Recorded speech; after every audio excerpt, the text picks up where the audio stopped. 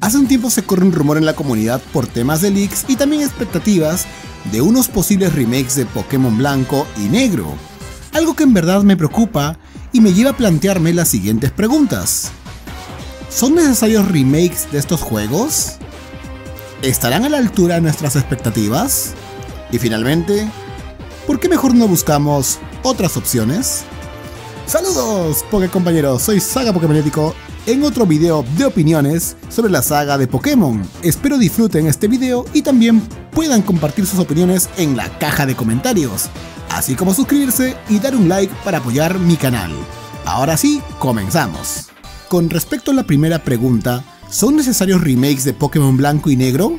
En mi opinión, creo que no es tan necesario hacer remakes de estos juegos.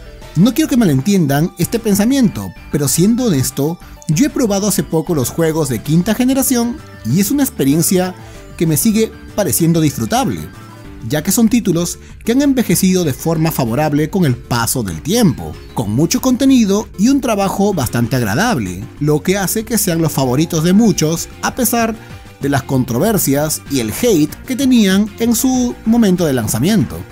Además, la razón de hacer un remake es justamente porque el juego original ya no es disfrutable para el consumidor, como fue en los casos de la primera o segunda generación, que debían ser actualizadas, ya que sus mecánicas originales, sobre todo en rojo y azul, estaban muy desfasados, y buscar adaptar estos a las más recientes, entregando unos títulos como Rojo Fuego y Verde Hoja, que no solo recrearon la historia de la primera generación, sino que también hicieron agregados en las mecánicas actuales, como las naturalezas y habilidades, y contenido adicional como las Islas 7, brindando un buen remake, igualmente para Hard Gold y Soul Silver, que modificaron ciertos detalles en algunos personajes y los hicieron más interesantes en sus respectivas historias, así como incluir eventos que hacen a esta entrega posiblemente los mejores remakes hasta la fecha un caso un poco distinto a los remakes de tercera generación, que en realidad son juegos aún disfrutables,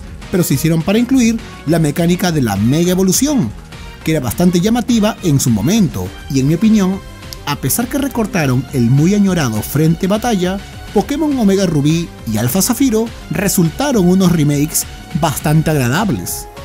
Pero un caso muy aparte es el de Diamante Brillante y Perla Reluciente, donde muchos se hypearon con la idea de un remake de Sino, una región bastante querida por el fandom y tomando en cuenta los trabajos previos, hicieron que nos ilusionemos por tener estos remakes, que como ya sabemos, no resultaron demasiado agradables, ya que no cumplieron con los logros de sus predecesores.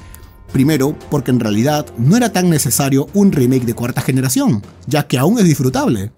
Y veo mucha gente que aún lo juega, incluso yo mismo, teniendo la posibilidad de jugar Diamante Brillante, prefiero jugar las versiones originales, sobre todo la versión definitiva de Pokémon Platino. Y acá viene otro gran problema. Decidieron recrear Diamante y Perla, no Platino, que era la versión definitiva con mejoras. Y para poner la cereza en el pastel, en estos, entre comillas, llamados remakes, no se agregaron las nuevas mecánicas para mejorar el juego. Por ejemplo, no había Dynamax, o bueno, lo que también se pedía eran mega evoluciones.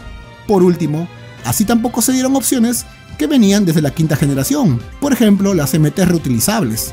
Simplemente se agarró los juegos originales y se pasó un estilo visual que tampoco resultó muy agradable, más si tomamos en cuenta que habían buenos precedentes como los juegos de Pokémon Let's Go Pikachu o Eevee, que ofrecen un trabajo visual muy bien logrado, y podría seguir enumerando errores o carencias pero creo que somos conscientes de las faltas de estos remakes que no llegaron a mejorar la experiencia de una región tan querida como Sino.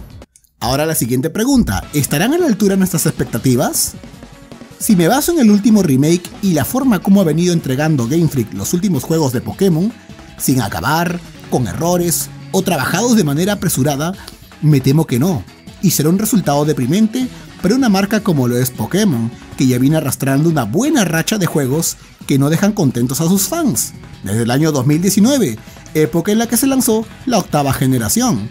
Si los títulos de Pokémon Espada y Escudo, que son muy mal recordados por la mayoría.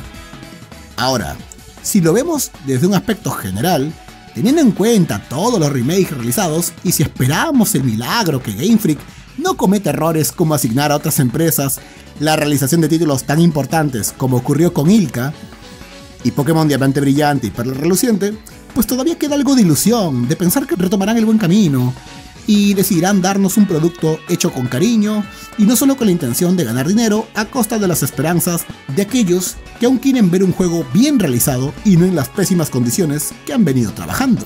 Finalmente, ¿por qué mejor no buscamos otras opciones? Creo que esta pregunta se puede malinterpretar. Con esto no digo que busquemos otras franquicias para divertirnos, sino me refiero a que en lugar de hacer tan pronto un remake que como mencioné antes no es tan necesario, ¿por qué no trabajar con opciones interesantes que nos han presentado como el caso de Leyendas Arceus? No creo que alguien sea indiferente a un título de leyendas Kyurem, por ejemplo, para traer un misterio que nos dejaron los juegos de quinta generación y es el tema del dragón original. Eso sí tendrían que mejorar aspectos que flaqueaban en el juego de leyendas Arceus, pero la idea está. Otra de las opciones que mucho estoy escuchando es un posible leyenda Celebi, con lo que concuerdo. Yoto, en la serie de leyendas, sería un título con mucho potencial para ver eventos que son narrados en los juegos de segunda generación, como el incendio de la conocida Torre Quemada y el nacimiento de las bestias legendarias. También escuché algo de un remake más de segunda generación, pero siendo honesto no lo veo para nada necesario. Hard Gold y Soul Silver son muy disfrutables en la actualidad, por lo que considero mejor las opciones de leyendas antes planteadas. Y ahora dime en los comentarios, ¿cuál es tu opinión sobre el tema de los remakes de quinta generación? ¿Crees que deberían ser lanzados? ¿Qué esperas de ellos o qué otro título te gustaría ver anunciado en el Pokémon Present de este año? Agradezco a todos por haber llegado hasta esta parte del video y si lo hiciste recuerda que eres un crack. Y también no te olvides dejar tu like y suscribirte para ver más contenido de mi canal. Ahora sí me despido, soy Saga Pokémonético y hasta la próxima. Click.